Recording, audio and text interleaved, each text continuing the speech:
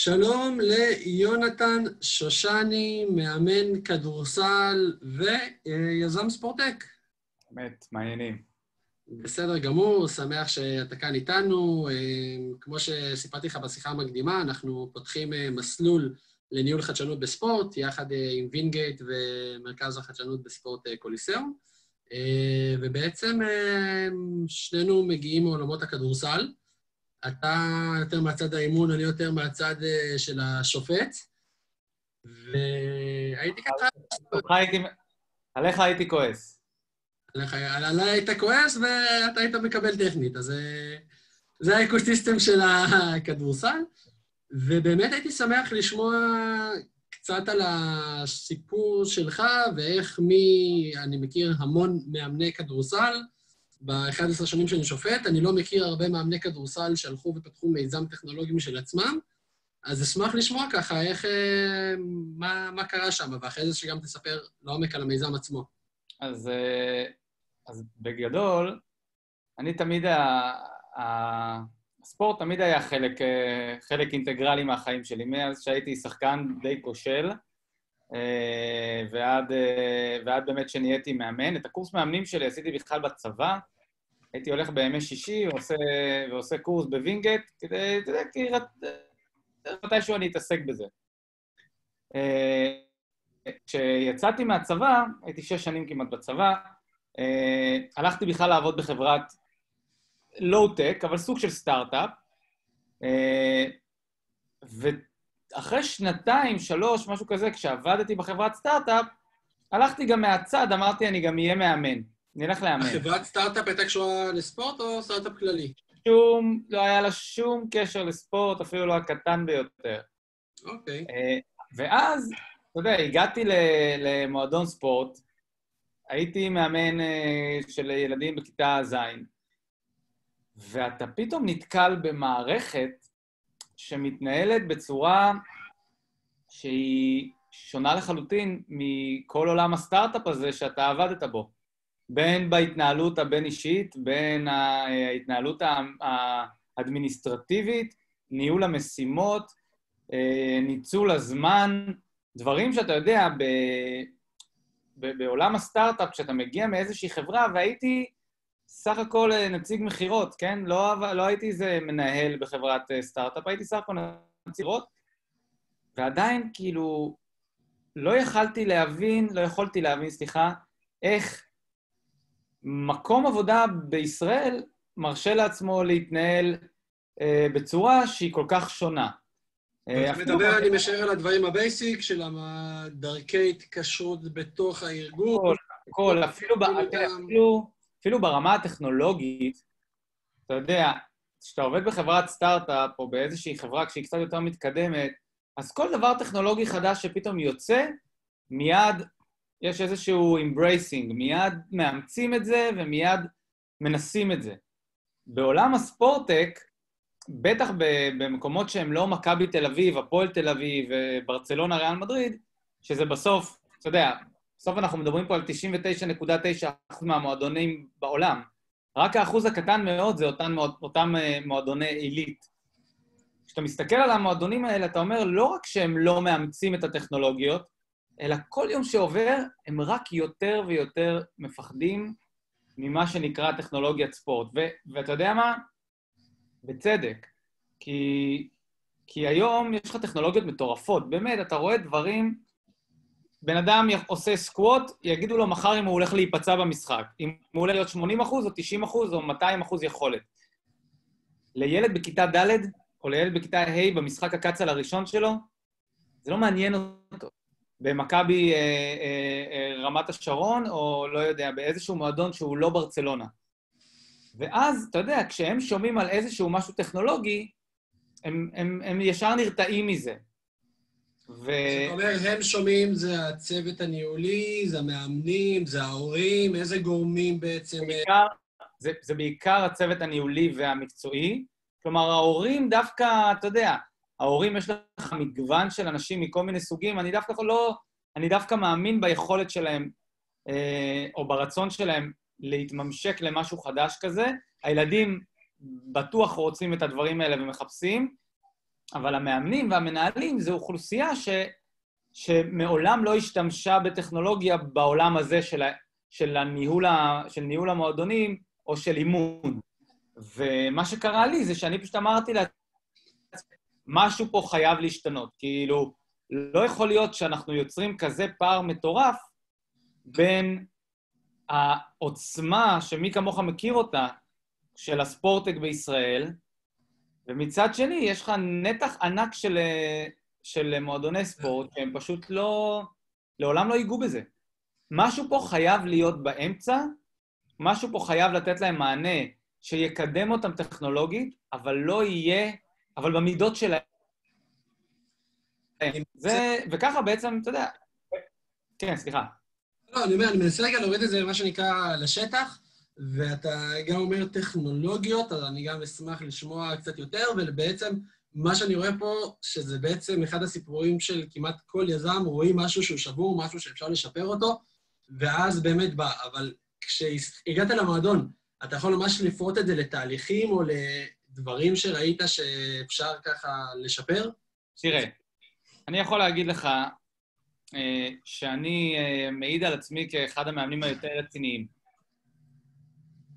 יחד עם זאת, מהרגע שביקשו ממני למלא דף נוכחות ועד הרגע שבו הפסקתי לעשות את זה לתמיד, עבר בערך אה, שבועיים מתחילת העונה, וגם אף אחד לא ביקש ממני יותר.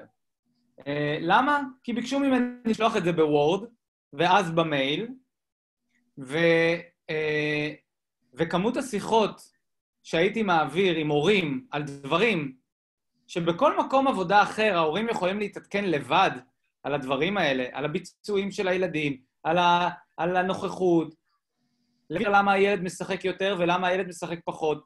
הקשר ביני לבין המנהל היה כזה שלא באמת ידעו מה אני עושה באימונים, אה, כדי לדעת ולהבין אם הילד שילם, הילד עשה בדיקות רפואיות, כל הדברים האדמיניסטרטיביים, הייתי צריך ללכת ארבע-חמש פעמים ביום למנהלים כדי לקבל איזשהו עדכון.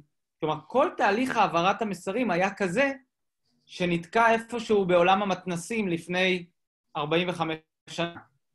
כלומר, אתה אומר, אתה מסיים קורס, אה, קורס מאמנים, מגיע לאמן קבוצה, בטוח שהולך להתעסק ב pick and roll ובהגנה אזורית, ובפועל אתה מתעסק האם אה, יואב אה, שילם או עשה בדיקות רפואיות, ואימא של יואב שואלת איך דברים כאלה, כלומר... ממש ככה, בעצימות של פי מיליון. ממש ככה ובעצימות של פי מיליון. ובנוסף, אתה יודע, גם לא היה איזשהו... לא היה לי, דיברנו על זה שלא עשיתי מעקבי נוכחות, לא היה לי מערך אימון.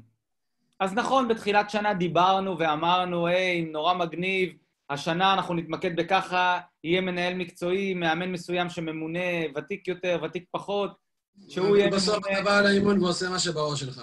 ברור, כי, כי, כי למה? כי, כי, כי אני טוב, כי אני יודע, כי, אני, כי אני, יש לי ניסיון, כי, כי מי יכול ללמד אותי? כי מאלף ואחת סיבות. ובעיקר, ובעיקר, ואז אתה בא גם עם הגישה הזאת למשחק עצמו וצועק על השופט, ואז הוא מרחיק אותך. ברור. בכיתה ו' צריך לנהל את המשחק בעצמו. ובסוף, הסיבה שלו, שאני הפסדתי את כל המשחקים שלי זה הרי אתה, ולא אני. אה, ואתה יודע, וגם ברמה, אבל בעיקר, בעיקר, אם נשים את כל הצחוק בצד, בסוף, הסיבה שלא הגעתי עם מערכי אימון לאימונים, זה פשוט בגלל שלא היה לי מישהו או משהו שייתן לי את התוכן הזה. היום, כדי ללכת עכשיו אה, אה, ולמצוא איזשהו תרגיל בנושא מסוים, מאמן יכול לשבת 4-5 שעות ביוטיוב ולסיים את זה גם בלי למצוא את מה שהוא רצה. ואם הוא מצא את מה שהוא רצה, אז זה יהיה בסרטון של 45 דקות, שאיזה מאמן משנות ה-30 מסביר את התרגיל 50 שעות, ו, אה, ורק אחרי זה, בסוף, אולי יהיה איזשהו תרגולון. התוכן מאוד מאוד לא נגיש, וגם התוכן שנגיש עולה הרבה מאוד כסף, ועדיין הוא לא מספיק ברור. וגם בזה, כלומר, אחת הבעיות שלי, אנחנו נגיע לזה כשנדבר על המיזם עצמו, אבל אחת הבעיות שלי היא שראיתי כל כך הרבה בעיות מכל כך הרבה תחומים שונים, שאתה אומר לעצמך, רגע, איך אני, איך אני נותן מענה להכל? אני בכלל צריך לתת מענה להכל? אולי עדיף שאני אתן מענה רק למשהו אחד? אתה הרי תדבר עם מיליון יזמים, ואתה יודע, אנשים שראו את הסרטון הזה, בטח דיברו עם, עם מאות יזמים בחייהם, כולם יגידו לך, תתמקד במשהו אחד, תעשה אותו הכי טוב, אתה מגדיל את הסיכויים שלך להצליח. אנחנו אומרים לא. אנחנו אומרים, יש פה בעיה שהיא הרבה יותר גדולה מבוא תיתן להם את הממשק הכי טוב ביותר למלא נוכחות. זה לא נכון. מועדונים כאלה לא רוצים עכשיו להתחיל להתעסק עם 400 uh, אה, גורמים. הם רוצים שיהיה להם פתרון אחד. ולכן, אני החלטתי שאני יוצא לאיזושהי דרך שהמנטרה שלה תהיה one stop shop. הכל במקום אחד. נכון שזה נמצא פה... אומר הכל של מועדוני ספורט, לפי מה שאמרת, זה מרמת הרישום, התרגילים, אתה יכול קצת באמת לספר יותר מה... כן. אז, אז אה, קודם כל הסטארט-אפ נקרא TrainLit, אה, ו TrainLit היא בעצם פלטפורמה אה, ניהולית מקצועית למועדוני ספורט. ניהול מקצועי. מה זה בעצם אומר? זה אומר שאנחנו בפעם הראשונה, ובניגוד גם לרוב המתחרים שלנו, אה, מציעים מוצר שיש בו מענה גם לבעיות האדמיניסטרטיביות, על אף שאדמיניסטרציה זה כזה מונח לא סקסי, אבל אנחנו פותרים להם בעיות אדמיניסטרטיביות אמיתיות, לא גדולות, לא, לא כאלה שהן גדולות על המידה שלהן. לדוגמה, אין שום מענה בחוץ היום ללוח שנה, גוג, כמו גוגל קלנדר, אבל שיודע לנהל מגרשים. כלומר, מועדון היום, יש לו 30 קבוצות, יש לו ארבעה מגרשים, שאותם הוא מחלק לשלישים, חלקם הוא מחלק לחצאים. לך תסדר את כל הדבר הזה באיזשהו ממשק, תדאג שלא יהיו טעויות. אנחנו בנינו להם ממשק קלנדרי, שאתה לא יכול לעשות טעות, כי אם אתה עושה טעות זה מיד מודיע לך. כי טעויות כאלה יכולות לעלות להם אחר כך מול, ה, מול האיגוד אלפי שקלים, ואי נעימויות מול ההורים, וקבוצה שהגיעה עם אותה קבוצה לאותו מגרש באותו הזמן. למה? כי הם עובדים עם אקסל. כל תהליך הרישום, תראה, אנחנו הגענו למועדונים שאמרו לנו... אני יכול להגיד לך שברמה האישית קרה לי לא פעם ולא פעמיים שהגעתי כשופט למשחק, ואו שלא היה משחק, או שהזמינו שתי... ברור, ברור. אז, אבל, וזה בדיוק הכסף שהולך, כי מישהו צריך לשלם לך על זה שאתה הגעת לשם. ומי ישלם את זה? אותו מועדון ששגה. עכשיו, זה רק דבר אחד קטן, קח את, קח את הנוכחות. היום עם המערכת שלנו, מאמן יכול להגיע לפני האימון, לקחת את הטלפון, טק, טק, טק, סימנתי מי הגיע לנוכחות. אתה תבוא ותגיד, וואו, נורא מדהים. זה לא מדהים, זה אפקטיבי. למה? כי אני, כשאני סיימתי את, ה, את השנתיים שלי עם הקבוצה שאימנתי, אחרי חצי שנה התקשרו אליי מהמועדון שעבדתי בו ואמרו לי, יונתן, תקשיב, אתה חייב לבוא להציל את הקבוצה, 13 ילדים עזבו. אני אומר, איך, איך יכול להיות 13 ילדים עזבו ואף אחד לא יודע? כאילו, איך יכול להיות שלא ראיתם את זה קורה? עכשיו, אני אומר, אם היה לכם ממשק שקל בו לאסוף נוכחות, והמאמנים באמת היו ממלאים את הנוכחות, והמועדון היה יודע לקבל התראה, תראה, הילד הזה כבר 20 אה, אחוז לא הגיע בחודש האחרון, 40 אחוז לא הגיע, מה שתבחר. אז היית יודע לטפל בבעיה הזאת עוד לפני שהבעיה הזאת הופכת להיות ילד שפורש. עכשיו, מה זה ילד שפורש? עם כל הסימפתיה ועם כל הרצון שילד שפורש, אתה יודע, זה, זה פוטנציאל, זה חינוך לספורט. בסוף זה ביזנס. הילד הזה שווה למועדון הזה 4,000 שקל בשנה, ולא רק לשנה הזאת, גם לבאה. אז תן לי רק להבין, בעצם אתה אומר, אני לא בא פה עם איזה טכנולוגיה... היום ראיינתי את אה, אוהד אה, גרוס מאינטל, אתה יודע, שמספר על הווידאו volumetric ועל שיטות שידור חדשות, ובאמת דברים שהם בטופ של הטופ, והם גם מיועדים למועדונים של הטופ.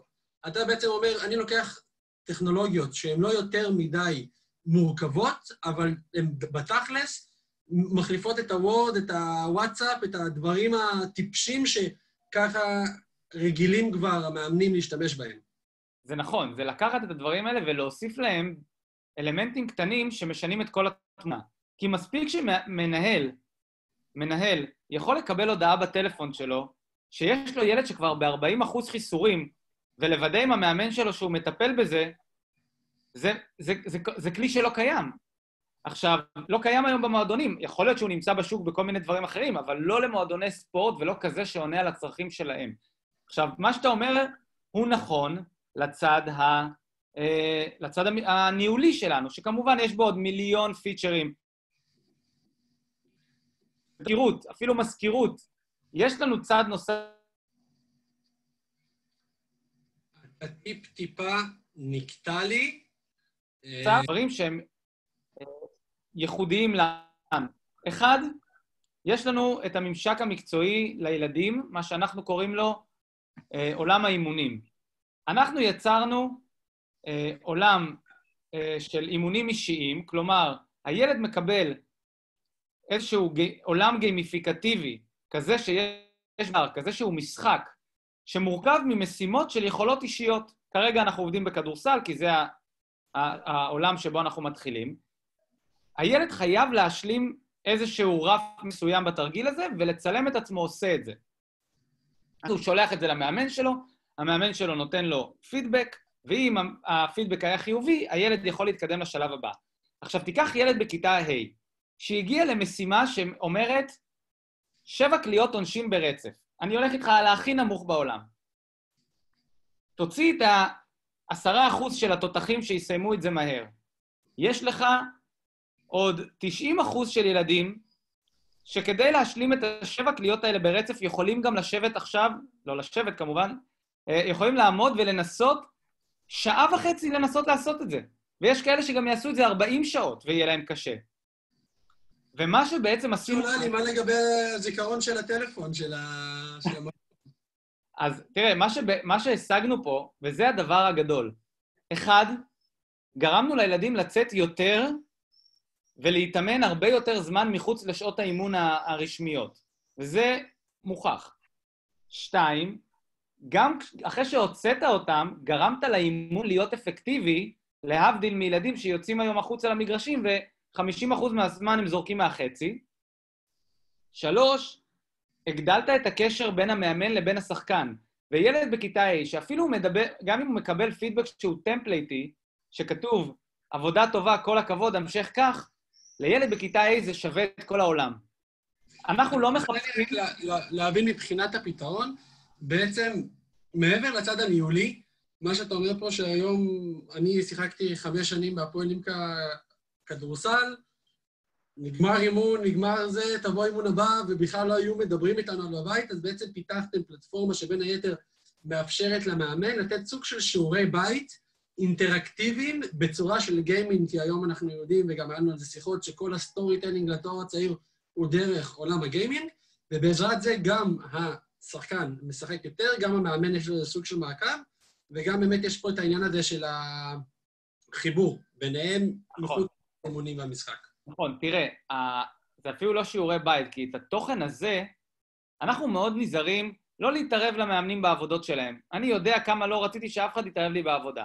ולכן עולם האימונים הזה מורכב אך ורק מתרגילים של יכולות אישיות.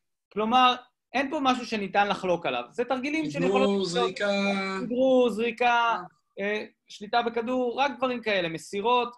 עכשיו, ולכן הוא גם מקבל את התוכן מאיתנו, יכול להוסיף אם הוא רוצה בעצמו, אבל התוכן הוא מקבל מאיתנו. אה, ותראה, אנחנו בסוף ניסינו, ניסינו לחשוב איך ילד שעושה ספורט תחרותי, איך הוא חושב. קודם כל, ילד כזה אה, תמיד רוצה להיות הכי טוב. אז נכון שאנחנו לא חושפים את איזשהו דירוג בין הילדים, כי אנחנו לא מאמינים בזה.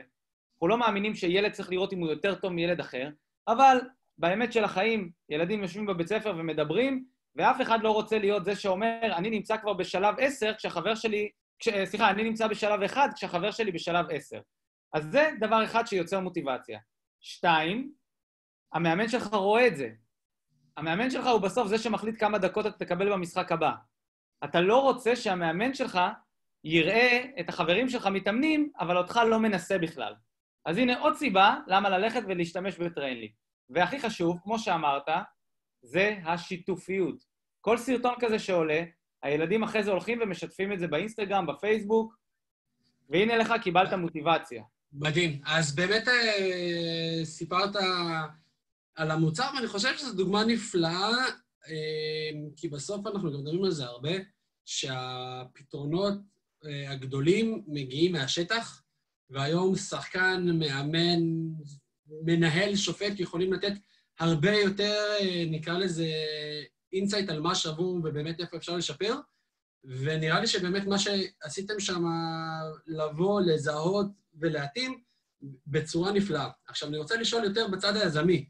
אה, בסופו של דבר, להיות אה, יזם או סטארט-אפיסט, אין כמעט אף אחד שנולד עם זה, ויש פה איזה set of skills שנרכש במהלך הדרך, ואשמח ככה לשמוע גם ברמה האישית, מבחינת החוויה שלך, מה זה דרש מהדרך, איזה דברים עשית, האם הלכת לשותף, מה...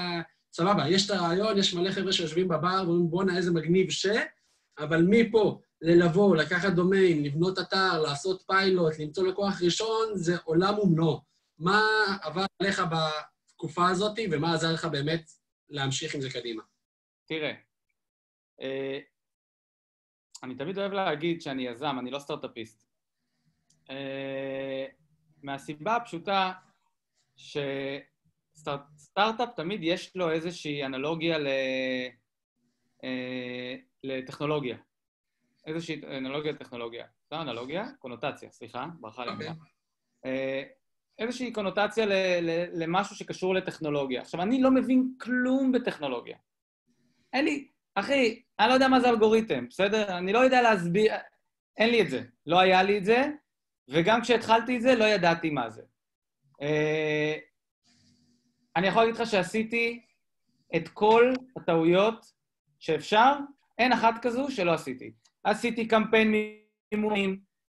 בהתחלה בכלל המוצר הזה היה שירות שאני מגיע למועדונים, אני בונה להם תוכנית שיווק, אני מגייס להם חסויות, מזה אני גוזר איזה נתח, משהו שתקשיב, יש יותר סיכוי שאני אגיע למאדים השנה, מאשר שזה היה עובד איפשהו. ובזבזתי על זה חצי שנה מהחיים שלי. ואז... אתה מצטער על זה? מה זה? אתה מצטער על זה? חד משמעית לא. בלי זה לא הייתי יכול להגיע לשום דבר שאני עושה היום.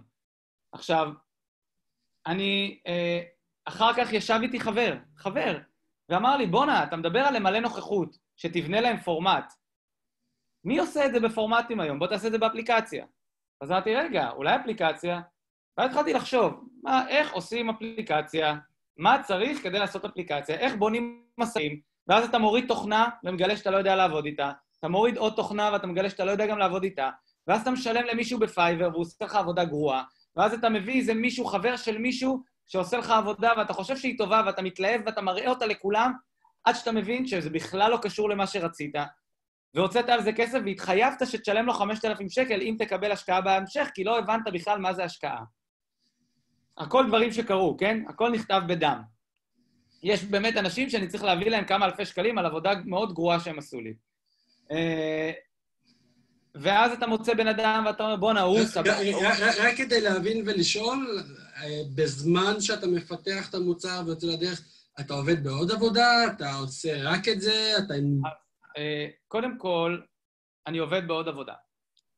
אה, חד משמעית. אני עובד בעוד עבודה גם עכשיו. גם עכשיו, אני מדבר איתך, סיימתי שיעורים פרטיים באנגלית, כי, כי ככה אני מצליח באמת לשרוד את התקופה הזו. יש אנשים, ויש לא מעט יזמים שאני מדבר איתם, ואתה יודע, הבסיס שלהם הוא שונה כלכלית, כזה שמאפשר להם גם לא לעבוד עכשיו שנה, ואתה יודע, וזה, וזה עובד. אני לא יכולתי להרשות לעצמי את זה, אה, אבל לשמחתי, או אני לא יודע, אולי לצערי, אני כרגע עוד לא בשלב שאני מחפש השקעה, זה יקרה רק בעוד כמה חודשים. אבל ברגע שזה יקרה, ויבוא אליי המשקיע וישאל אותי האם אתה מאה אחוז בזה, אז ברור.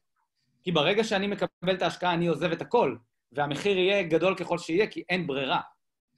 אה, עכשיו... דיברת על הקטע הטכנולוגי, התחלת בעצמך, ראית Fiverr, חבר של חבר. להביא CTO, להביא שותף טכנולוגי, זה משהו שעמד על הפרק במהלך ה... במהלך ה... במשך... אני הגעתי לאיזושהי צומת שאמרתי, אני חייב, אוקיי, יש לי מסכים, יש לי רעיון, צריך להפוך את זה למציאות, צריך להביא מי שיפתח את זה. ואז אמרתי, רגע, רגע, רגע, מה, מה, מה האופציות שלי?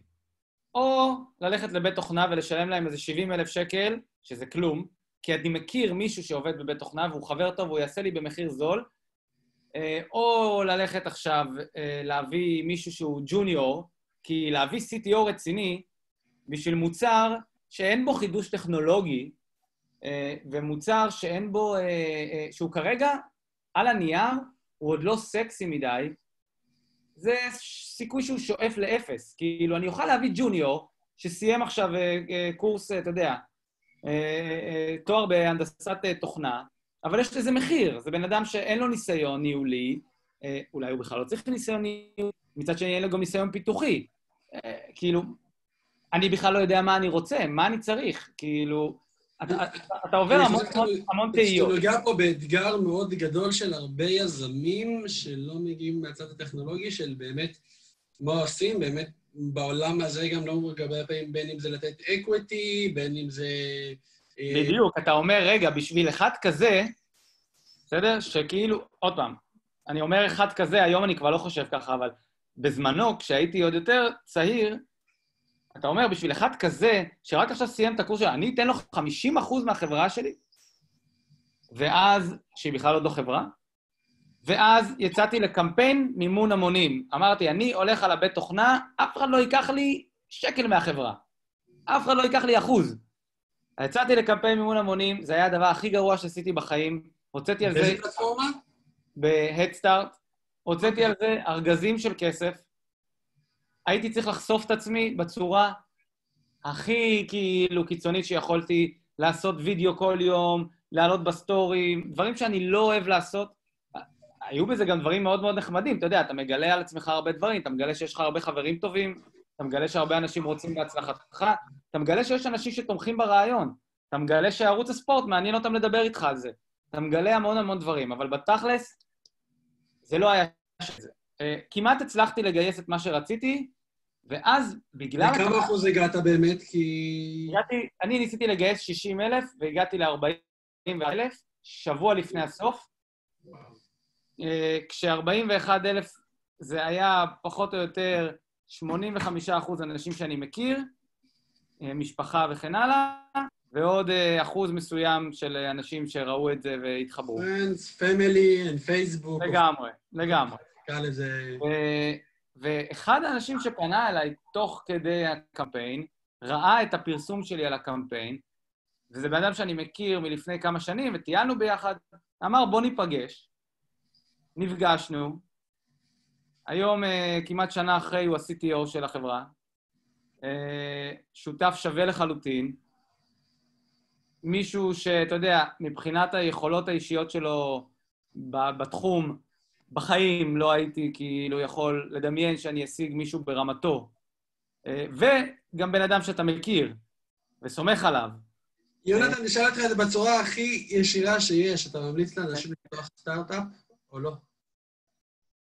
חד משמעית, כן, אה, אבל אחרי בדיקה מעמיקה ואמיתית של האם מה שיש לי ביד באמת יכול לשנות את העולם של מישהו בצורה מאוד מאוד משמעותית. ולמשל שלמדת משיחות הקודמות שלנו, זה היה משהו שקשור? תואר? אה, אני למדתי משפטים. אה, למדתי גם תקשורת. התואר של התקשורת לא היה שווה כלום. התואר של משפטים היה מאוד מעניין, אבל לא הלכתי להיות עורך דין. עצרתי לפני ההתמחות, אה, בגלל זה, אגב, וגם בגלל, וגם בגלל שזה פשוט לא מעניין אותי. וכמה בתור מישהו שלמד בשני תארים, ללמוד מה שאתה אוהב, או מה שאתה חושב שאתה אוהב, מרגיש לך חשוב? אני אגיד משהו שהולך להיות מאוד לא פופולרי. אני לא יודע אם אתה, אם, אם זה משהו ששווה להראות אותו. אנחנו בעד דברים אנדרדוג ולא פופולרי. אבל אני באמת, באמת מאמין שלא צריך ללכת לעשות תואר היום. אני חושב שיש היום המון גופים שמציעים קורסים נקודתיים בתחומים מאוד ספציפיים, בין אם זה בשיווק אה, דיגיטלי, ובין אם זה פיתוח תוכנה, ובין אם זה... היום ואני אומר לך את זה גם בתור בן אדם שהולך עוד מעט להעסיק אנשים, היום אתה מחפש ניסיון. זה לא מעניין אותך מה שם התואר, זה מחפש, מעניין אותך ניסיון.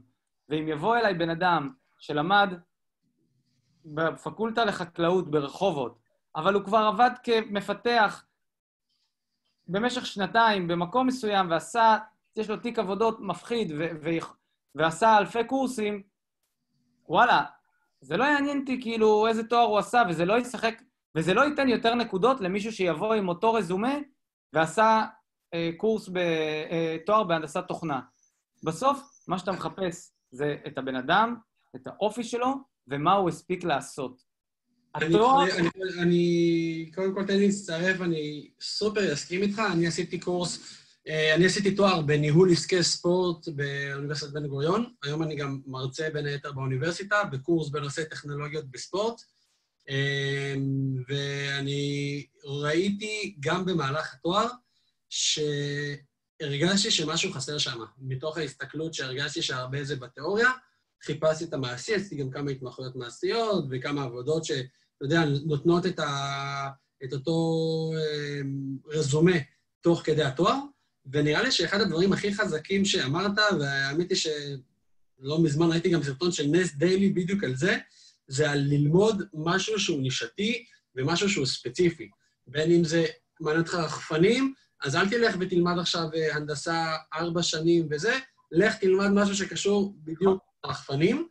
אה, ואני גם יכול להגיד שגם במסלול הספציפי הזה, זה המסלול הראשון בארץ ואחד הראשונים בעולם, ועבדנו, עבדתי איתך לפני זה קצת על התכנים, שכמו שראית, הוא מאוד ספציפי לעולמות האלה של הספורטק. אה, האם זה היה לך אני כן חושב שה...